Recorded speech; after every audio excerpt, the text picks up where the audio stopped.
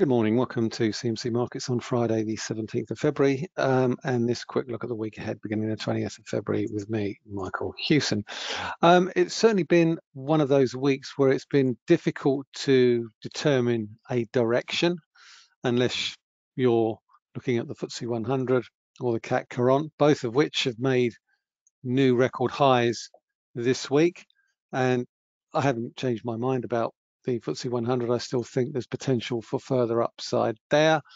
Um, but I think what we have seen this week is a little bit of a change to the cozy consensus that developed around the 25 basis point rate hike from the Federal Reserve consensus and the fact that disinflation was likely to be a one-way route to the downside this week's data have really, I think, prompted a, an awful lot more uncertainty about the stickiness of inflation. And I think that's no better illustrated in this week's US CPI numbers, but more importantly than that, in the PPI numbers that we saw earlier this week. If we if we look back at first and foremost at the CPI numbers for January, US CPI numbers for January, they came in slightly above expectations of 6.4%. It was still a, it was still a modest decline from December's 6.5%, but it was above expectations of 6.2. Core prices were also stickier than expected, slipping from 5.7% to 5.6% due to upward revisions to previous months. Month on month numbers were in line with expectations, but I think one thing is apparent while inflation is coming down, it's coming down slower than expected. And that won't give the Fed confidence that it is on top of the inflation problem. Um, and that really extends also to the PPI numbers that came out in January as well, not only on month on month, but on year on year. December also saw upward revisions to the underlying numbers on both headline and core. So year-on-year PPI came in at 6%. That was down from an upwardly revised 6.5% and well above forecasts of a drop to 5.4. I mean, that was a, that's a big forecast drop, which ultimately didn't come in. While core came in at 5.4, which was also well above forecast of 4.9. Now, a large part of the reason for the stickiness, the increased stickiness on US PPI was higher energy costs, gasoline, uh, natural gas. And while we saw a really, really decent retail sales numbers out of the US January numbers, a rise of 3%, that came off the back of two successive months of 1% declines. So November and December ended really poorly. In the US, we've seen a fairly decent rebound, or more than decent rebound in January. And I think the bigger question is whether or not that's sustainable. When you look at weekly jobless claims consistently below 200,000, and you've got to argue essentially that the US economy is much more resilient than was thought to be the case at the end of last year. That would mean that wage growth is likely to be an awful lot stickier and uh, average weekly earnings, average hourly earnings are probably not a good benchmark when measuring um, US wage inflation, and that the Fed will probably need to go a lot longer um, than markets are pricing in or have been pricing in. And that's no better illustrated in this US two-year yield chart. We've broken above that cozy consensus of between four and four and a half percent over the past few days. Let me just zoom that in a bit for you. There we go. Basically, this was the range, bottom of the range. It's around about 4%. Obviously, that was the payrolls numbers, um, which saw the big jump higher. Ever since then, we've seen US economic data surprise to the upside, and we've now broken above 4.5%, and could and we could well be heading back to 4.8%. So as we look ahead to next week, um, as well as looking back at this week's numbers, I think the thinking is now starting to shift and we've got Fed minutes which are due out on the 22nd of February.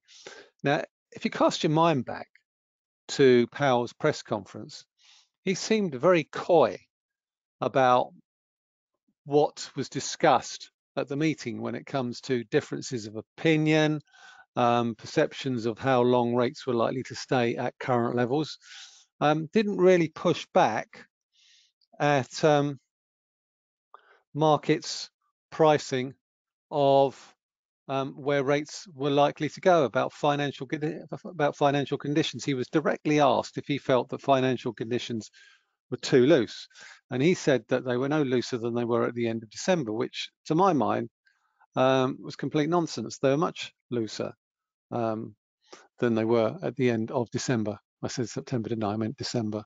I mean, this is this is the end of this is sort of a big roundabout um, mid-January, and as you can see, they're they're probably the loosest they've ever been in terms of the two-year yield.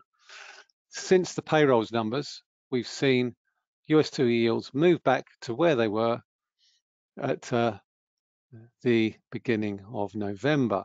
So we've seen a significant tightening of uh, rates.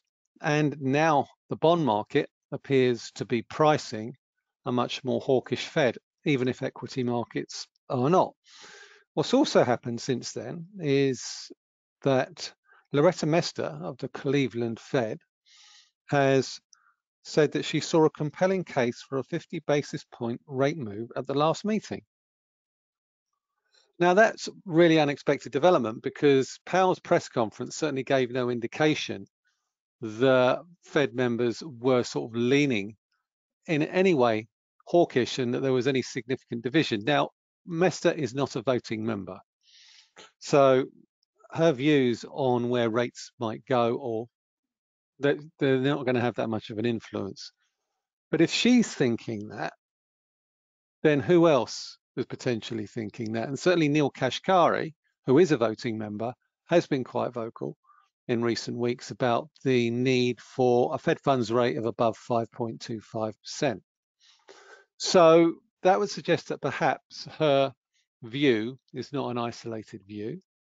And certainly James Bullard of the St. Louis Fed, who's also not a voting member this year, has said that he could he could certainly consider a 50 basis point rate hike in March after having seen a slowdown to 25 in January.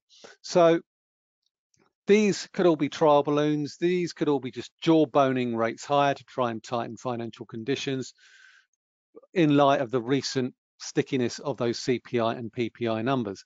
Certainly it's having an effect. We can certainly see that in the US two-year yield. We can certainly also see it in the way UK gilt yields are pricing higher, even though UK inflation did see a big drop in this week's numbers to 10.1%.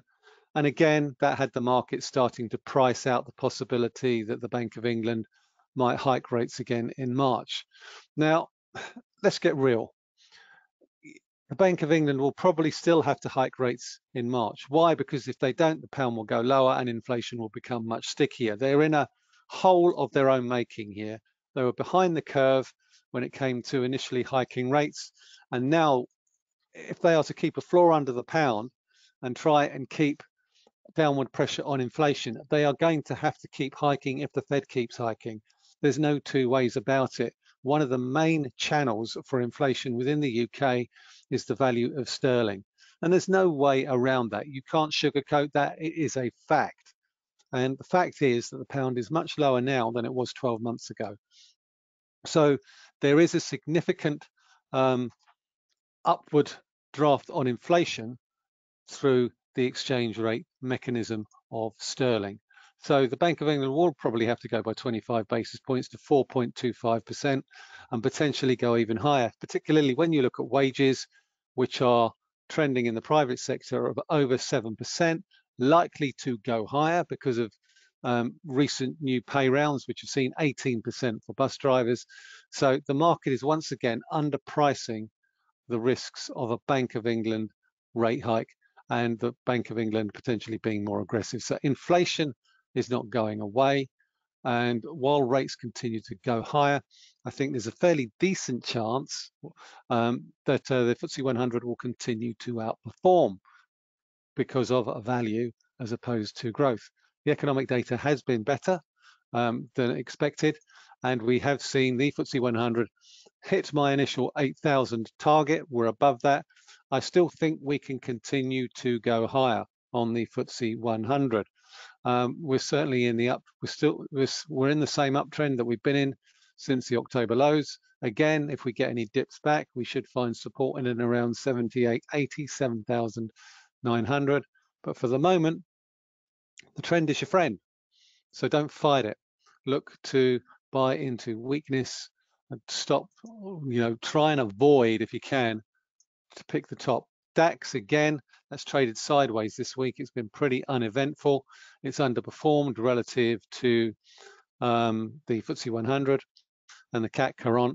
Nonetheless, we're still very much in an uptrend and the DAX should continue to slowly work its way higher. If we look at the CAC 40, that briefly hit, sorry, wrong chart, that briefly hit a record high earlier this week. Just a marginal record high, I might add. That was the previous record high, 73.85.4, 73.87, 73.88. So it's a marginal record high, uh, but ultimately um, the likelihood is that while the trend is in place, then we are very much in buy the dip mode. US markets, on the other hand, different story entirely. Let's look at the NASDAQ to begin with. Again, the NASDAQ is holding below the, that key resistance level at 12,850. Um, it's still chopping around, and while it may not come crashing off, I think it's going to struggle um, at current levels, particularly if US data continues to surprise to the upside. Um, I think the key support on the NASDAQ is essentially going to be these lows from the 10th of February, last Friday, which was 12,200. So keep an eye on those lows there. S&P 500, similarly, struggling just above 4150 in and around 4180, there or thereabouts. It's slightly more, it's slightly more um, uh, jaggedy in terms of the moves, but the bottom, the bottom of the range at the moment is around about 4050. But certainly there is also bigger support in and around this 4,000 area, 3,998, 4,000. But if we do break below there, then we could start to sink back towards this trend line support from the lows back in October. So essentially we're still in an uptrend for US markets. It's just that um, upside is going to continue to be slightly contained while the dollar is strong and yields are edging higher. Okay, so those are those are the key those are the key indices. Euro dollar, strong dollar, pushed euro dollar lower. We've rolled over the 50-day moving average. We found resistance in and around this 108 area, 107.80. As you can see that low there, that peak there, and that peak there has managed to contain the upside. The next support area comes in around about 106.10, 105.80. But I think the key level that I'm targeting is really the lows this year at around about 104.80. I think we can potentially slip back there if, if we if we look at these series of lows through here. There's certainly fairly decent support in and around the 200-day moving average um, as well as this trend line here. So is it there is scope for us to move lower on euro dollar, not massively so, I might add, but certainly I think there's scope for us to drift back down towards this trend line in this period of dollar strength as we head towards that next Fed meeting in March. Now, I mean, the ECB is still talking tough when it comes to rate policy.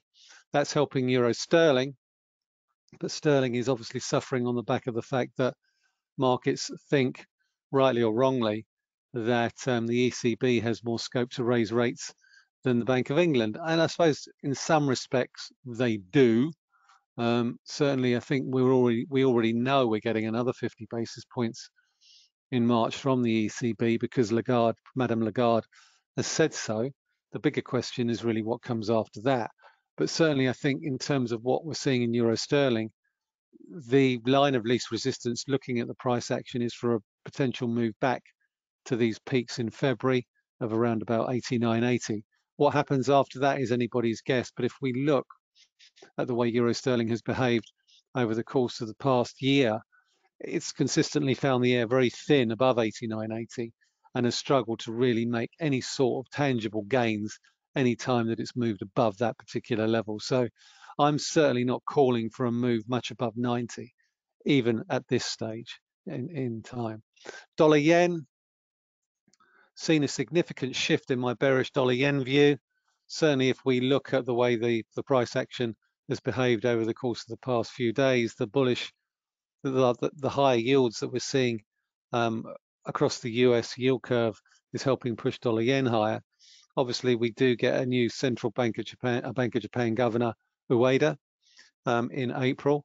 He's probably not likely to be as dovish as Kuroda, but we are still two or three months away from his appointment. So there's certainly plenty of time in the interim for the dollar to potentially go back to the 200-day moving average, which is above 136 as well as obviously this cloud resistance here, this red line here, which we can ascertain comes in. We just roll that cursor in there. We can tell the value of that Kumo 2 line is 137.95. That's on the left-hand side of the graph there. You got um, a value window. Got Ichimoku, Kumo 1, Kumo 2, 131.96 on the downside and 137.95 on the upside. Obviously that then moves down as you move it across. But these Kumo lines generally do tend to act as fairly decent support and resistance. So certainly I think there's potential for us to move to the 200-day moving average at 136.74 and potentially 137.95 if we move beyond that. But obviously these lines could start to coincide sometime next week. So they could become one and the same as time goes by. So certainly keep an eye on Kumo 2 and the 200 day moving average when looking at dollar yen. Okay, so um, as I say, we've got the Fed minutes on Wednesday. Um, the interventions by Mester and Bullard make for a little bit of a change to the narrative and does and, and essentially raises two questions. These two questions are one, is to how many other Fed members saw a compelling case for a 50 basis point move at the last meeting. Okay, and in two, how much could that have shifted over the last few weeks in light of the recent strength of US data? The minutes should answer question number one. Question number two will take a little bit longer to answer and ultimately we'll need to see more data. But certainly in terms of labour market, in terms of um, broader economic data, the move to lower inflation is likely to be a choppy one and likely to invite further Fed rate hikes over the course of the next few next, next few weeks and months, which suggests we'll get a hike in March.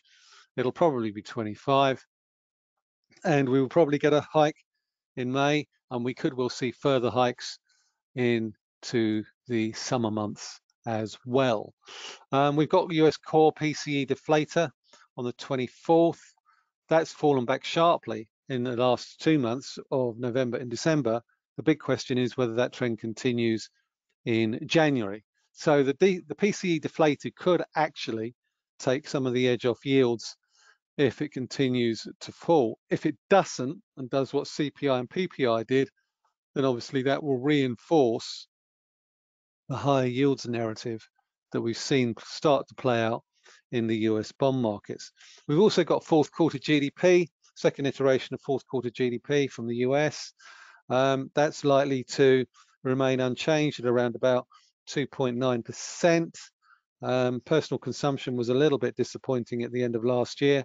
I think in Q1 though that that's going to bounce back very very strongly, particularly with respect to the US retail sales, which saw a which saw a very strong bounce back in the control group, which generally is well is positive for the US economy because the control group measure of retail sales is included in US GDP calculations. So um, that would suggest that we're going to see a very strong Q1 if that continue if the trend continues on the back of a strong January into February and March.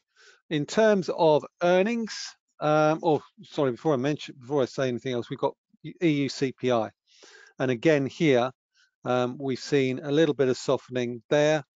Uh, recent German CPI numbers would appear to suggest it's a little stickier than perhaps the ECB would like. The most recent flash numbers for January saw headline CPI fall from 9.2 to 8.5%, which was a bigger fall than expected, but core prices increased. They didn't fall, they went up. So they went up to 5.2% on an annualized basis from 5.1. So again, headline pressures, headline inflation is easing, core is rising. And that's the key measure that we really need to be paying attention to as traders and investors. In terms of earnings this week, banks continue. Um, we've seen disappointing reactions to um, NatWest's latest numbers. The, the share price as I speak is down 6%. You can see that in this little graph here, big fall there, but it's well off the lows. And the fact of the matter is, I think it's that is well overdone that reaction because they posted a decent set of numbers, um, but in the Q3 numbers, the share price dropped quite sharply. It's a lot higher now. So I think we could be seeing a similar sort of reaction play out. This week, we've got Lloyds Banking Group. Um, uh, full year numbers. See if I can get my words out. Again, we've seen a little bit of a drop back today on the back of the NatWest numbers, a little bit of what I would call a sympathy move lower. But uh, again, um, if if if um, if NatWest Q4 numbers are any guide, there's only been a very modest slowdown in mortgage lending. There was a little bit of an outflow in current account balances and deposits in Q4 mainly down to the fact that I think people were dipping into their savings. But if we look at the overall direction of travel when it comes to the Lloyds Bank share price, it's still very positive. And we saw retail sales in January come in slightly better than expected this morning. So certainly there's a decent trend line on the Lloyds, the recent move higher in the Lloyds Bank share price, as long as we stay above that uh, broader trend line higher then the uptrend should remain intact. And what's actually encouraging, I think, for me, is that we've been able to hold above uh, this series of peaks through here around about 48p. And what is also interesting about Lloyds Bank shares is that the bank is more profitable than it's ever been uh, over the last 10 years, and yet it's still well below the levels it was pre-COVID, which suggests to me that of all the banks, there's some serious underperformance going on there. And perhaps as long as things continue to not look as bad or as dark as people think, there is certainly potential for an awful lot more upside when it comes to the trend that we're currently seeing play out at the moment. Rolls-Royce, another one here that's been a serial underperformer, has gone and started to gain traction towards the upside. Again, a little bit of a top here in and around 115. 115p, seen a little bit of a pause. We're currently holding above 105. I think the big question here is that, you know, what's the new CEO going to, what's the narrative the new CEO, Tufan Ergen Erginbilgic, is going to be telling us now that he's got his feet under the table and replaced Warren East. When he took over earlier this year, he really didn't hold back um, when he was talking about the challenges facing the current business. He likened the company to a burning platform. His words sent the shares off their recent highs. You can see that there. They found a bit of a base at around about 104, and they've gone back and retested those highs. One of the, I mean, there's no question, the company has its problems. Heavy reliance on its civil aerospace division was and still is to a certain extent a notable weak spot. But even here, there are grounds for optimism. Airlines are returning to their pre-COVID flying patterns.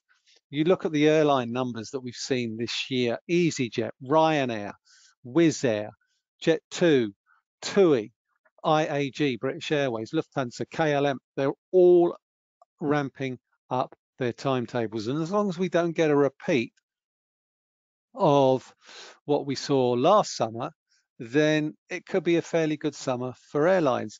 Rolls-Royce has won an order from Air India, or Airbus has won an order for Air India for um, a whole host of new jets powered by Rolls-Royce engines. So certainly I think in terms of what we're looking at going forward, the big question is how much bad news is already in the price. I mean, look at this share price.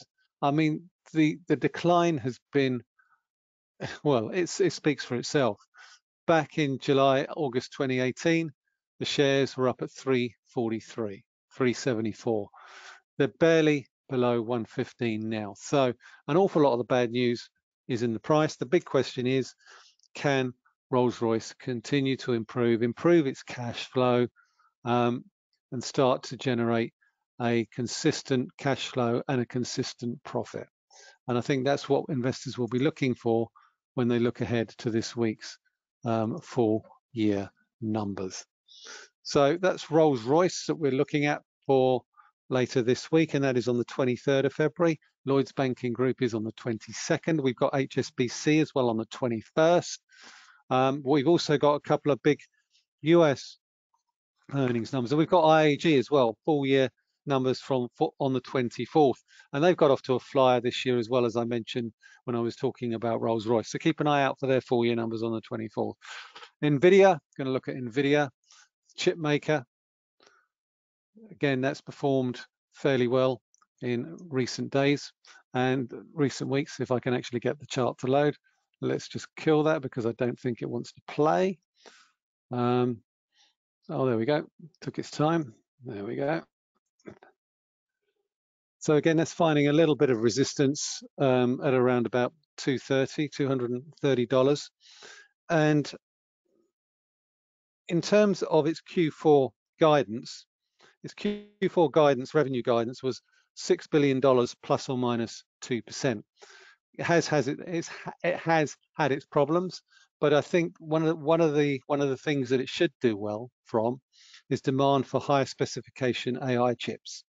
Um, NVIDIA is a key supplier in this area. Profits are expected to come in at 81 cents a share. And after a disappointing first half, perhaps the outlook for NVIDIA could be an awful lot better than was thought to be the case when we were talking about the numbers back in Q3. Okay, so I think that's it for this week. Also, Walmart. Don't forget Walmart. That's a good that's a good gauge of the US consumer keep an eye out for those numbers on the 21st, Q4, full year. Um, given the fact that retail sales were so strong in January, perhaps we could see a decent set of numbers from Walmart. Anyway, that's it for this week, ladies and gentlemen. Thank you very much for listening. This is Michael Hewson talking to you from CMC Markets.